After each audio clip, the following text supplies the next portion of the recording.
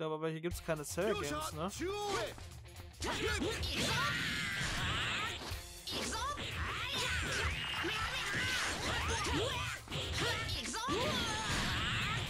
Ich liebe die Kombo.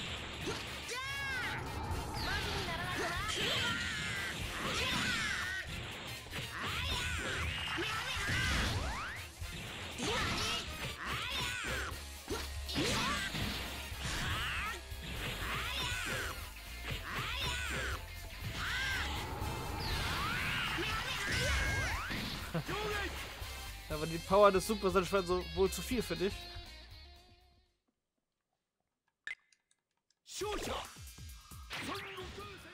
Budodi! Aber World Tournament geht eh immer schnell. Das wird jetzt ratzfatz durchgezogen.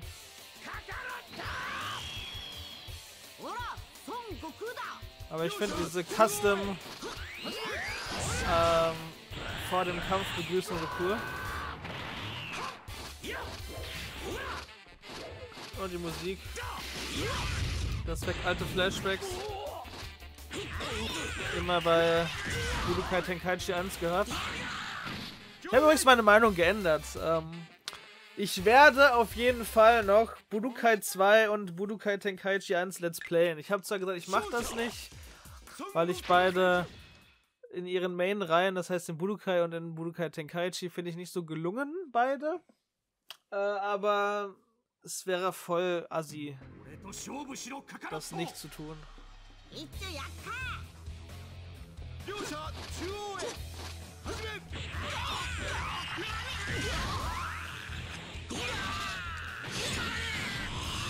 Wäre auch zu einfach gewesen.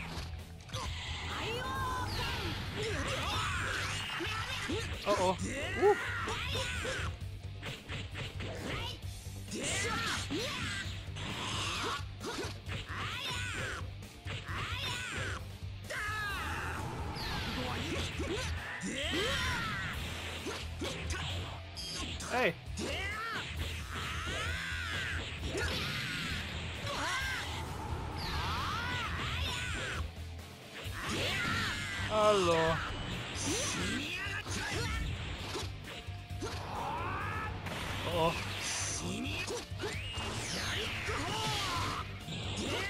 Hier muss ich aufpassen. Okay, sehr gut. Du bist dumm. Ja. So, das ist der Win. Jetzt fehlt nur noch der Win auf fortgeschritten. 30.000 Seni, das ist doch schon eher meins. Damit kann man sich doch zurücklehnen. So.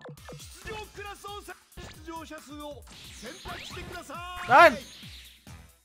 Ich hab. Oh nein, ich hab normal genommen! No! Weil sie da bis trotzdem schaffen. Wir kämpfen gegen zu 17 mal wieder. Jo, wie viele! Wie viele Teilnehmer!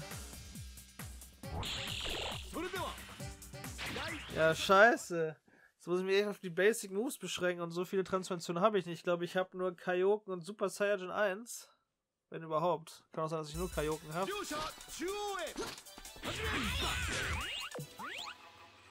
Nur Kaioken, KBMH und Genki Dama. Und die Genki Dama benutze ich sowieso nicht.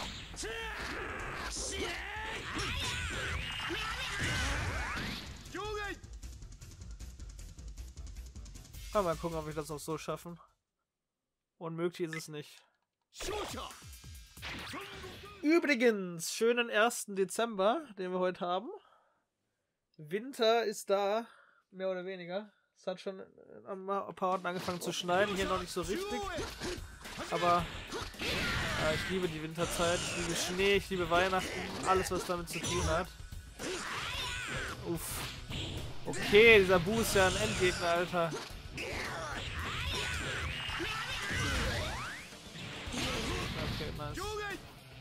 Ja, ich liebe die komplette Winterzeit mit allem, was dazugehört. Ich liebe Schnee, ich liebe alles. Von daher, das ist jetzt my time has come.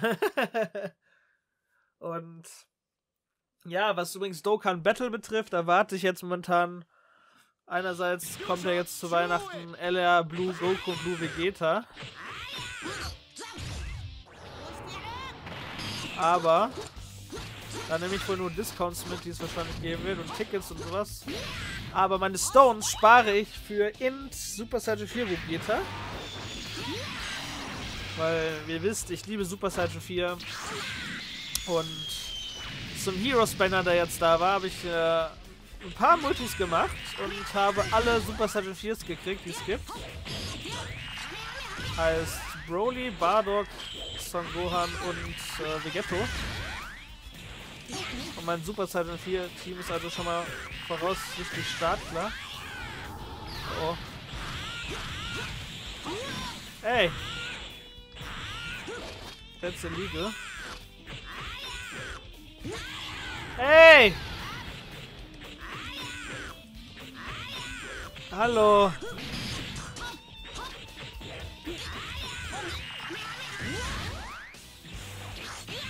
Scheiße, ich hab verloren. okay. Ja, mit Normals Kacke. Ich brauche angepasst, weil ähm, diese diese Verwandlungen können einem schon ziemlich den Arsch retten, weil man einfach verdammt nochmal, weil man einfach instant die durch die Verteidigung des Gegners durchbricht. Und das ist halt ein Vorteil. Klar, der Gegner kann sich noch teleportieren, aber trotzdem. Ja, auf jeden Fall, gesagt, ich spare auf Super Saiyan 4 Gogeta. Und der Gegner hier ist, Freezer. Und ja, es kommt auf jeden Fall in letzter Zeit sehr interessante Dokkan-Units raus. Äh, die LR ähm, Thales Army zum Beispiel, das ist eine sehr geile Karte. Dann gibt es noch äh, den neuen Dokkan Fest Bojack, der sich sehr gut mit LR Bojack spielen lässt. こうなってしまった恐怖のショーを始めよう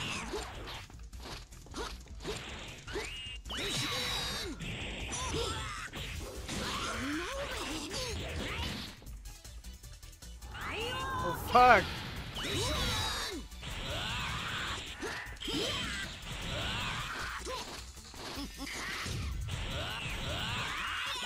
Mann, hör doch auf, deinen Drecks Todesstrahl zu spammen.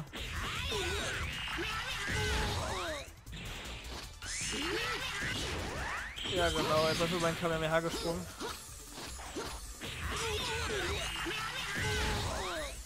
Mann, was machst du? Du machst nicht so spannend, wollte ich gerade sagen.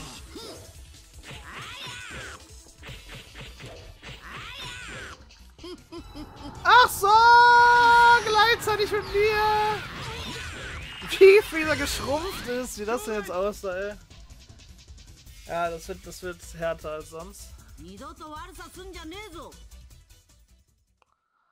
Das wird auf jeden Fall härter als die anderen beiden Sachen. Ja, und sonst morgen, das heißt, morgen ist ja der 2. Dezember, logischerweise Mittwoch, ähm, kommt ein erneuter Part äh, von Budokai Tenkaichi 3 Challenges.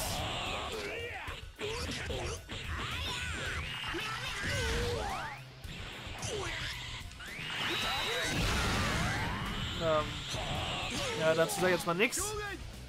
Er hat viel später gekontert mit seiner Attacke, aber am Ende war es halt quasi ein Win für ihn, so wie ich das gesehen habe.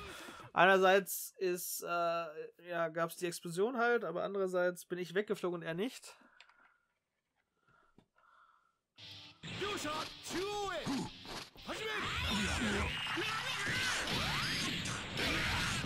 Okay, Dabra.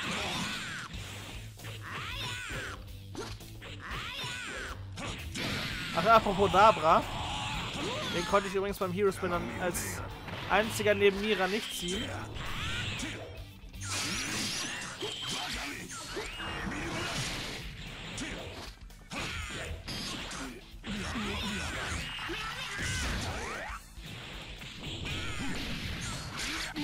Oh fuck, nicht hinter ihn. Absolut nicht hinter ihm. Mann! Verarsch mich doch nicht.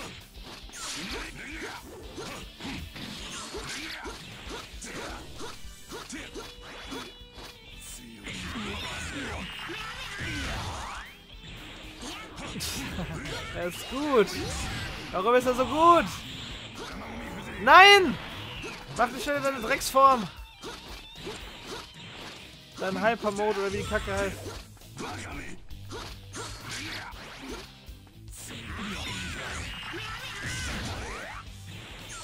Nein, nichts.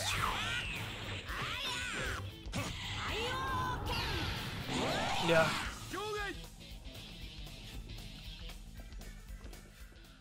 Das ist halt die Sache, wenn man ihn an den Rand des Ringes bringen kann, sich dann transformiert und so seine Abwehr bricht und man sieht, er hat weniger als drei Key und dann kann man halt direkt den Knockout verpassen und er hat automatisch verloren.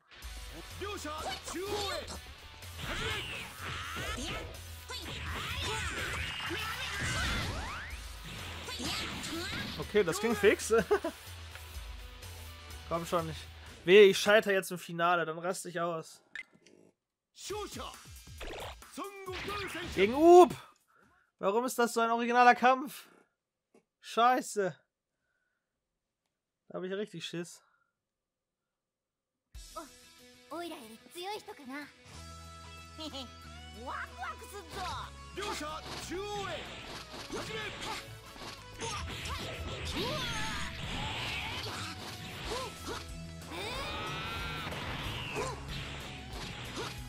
Oh Gott, hat der viel Ki. Sicher jetzt erst.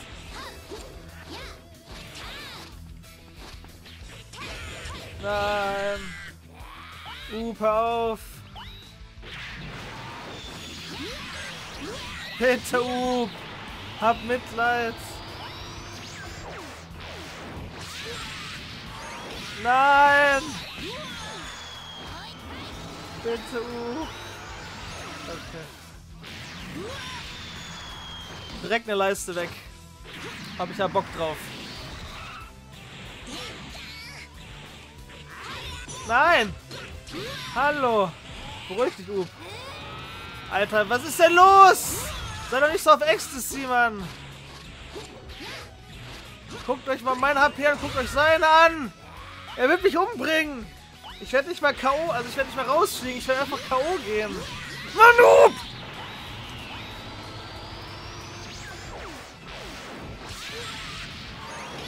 Scheiße! Mach doch nicht diese, Mann! Fick dich!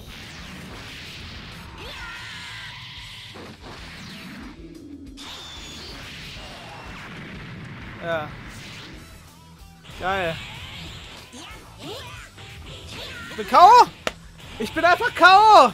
Er hat mich fast geperfected. Was zum Geier, Mann? Ja, null Seni oder was? Aber doch 25.000 als Zweiter. Wow. Ah, nochmal dieselbe Scheiße von vorne. Ey, Mann! Ihr müsst doch dann auf einmal so übertreiben mit der Schwierigkeit.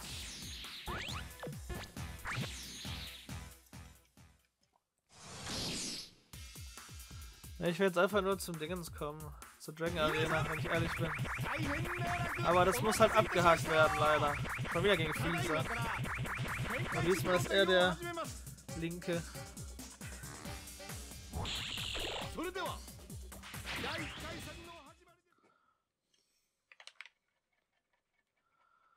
Aber auf jeden Fall als nächstes Let's Playen wir äh, Dragon Ball Z Infinite World. Und dann ja, muss ich wahrscheinlich Budokai 2 reinschieben. Dazwischen schieben.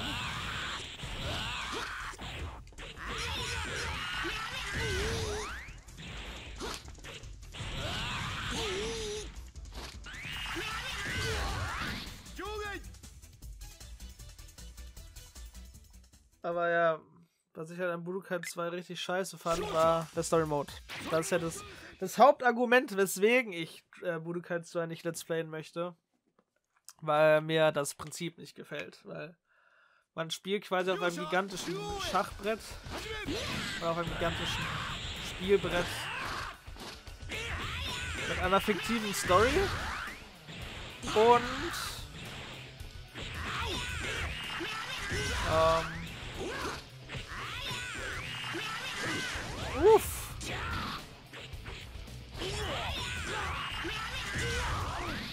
Ähm, Ja, was mir nicht gefällt ist, da sind halt erstens, ich bin da schlecht in den Budokai-Spielen, also ihr seht anhand wie ich spiele, ich kann halt vielleicht ein oder zwei Combo-Cancels und die abuse ich dann immer.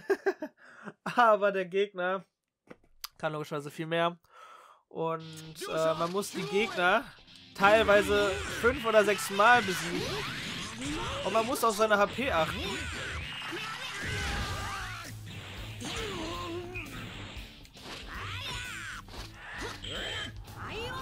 Wollte ich nicht.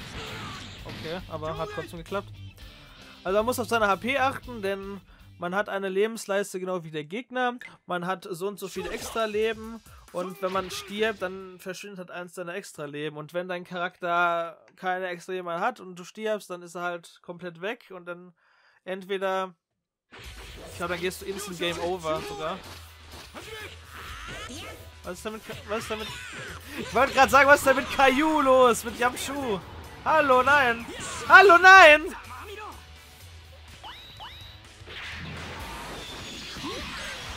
Mann!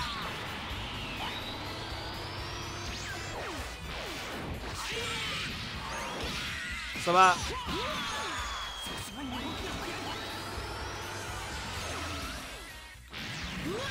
Die lieben aber ihren Dragon Rush in diesem fortgeschrittenen Modus, ne? Alter, er macht die wieder! Die KI ist ja noch schlimmer als die von den Kaichi 3 mit den Red Potaras. Wo die einfach nur die Kacke abusen. Und mit Kacke meine ich super tank. Junge, bist du gay? Die haben Schumann.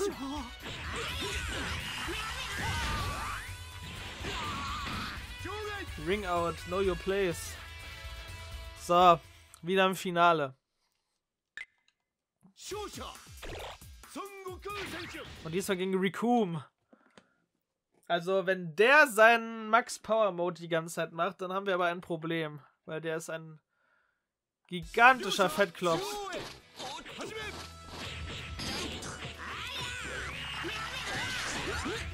Alter. Hä? Alter! Ähm. Die! Ne. Hör doch auf! Hör doch auf! Ja! Mann. Erst springt Freezer über mein Kamehameha und dann Rikum auch. Aber wir haben gewonnen. So. 50.000 Seni. Seni mit IE, warum auch immer. Aber gut, wir haben's. So, gibt's das Neues im Skillshop?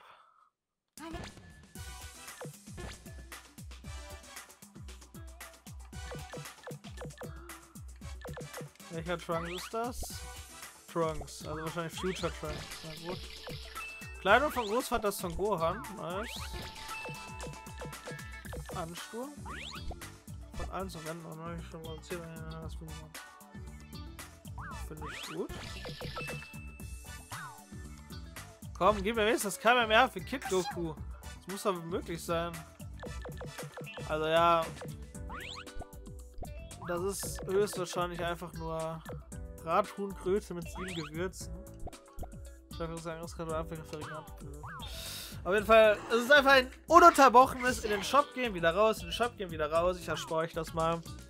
Wir wandern jetzt einfach straight in die Dragon Arena. Es ist endlich soweit.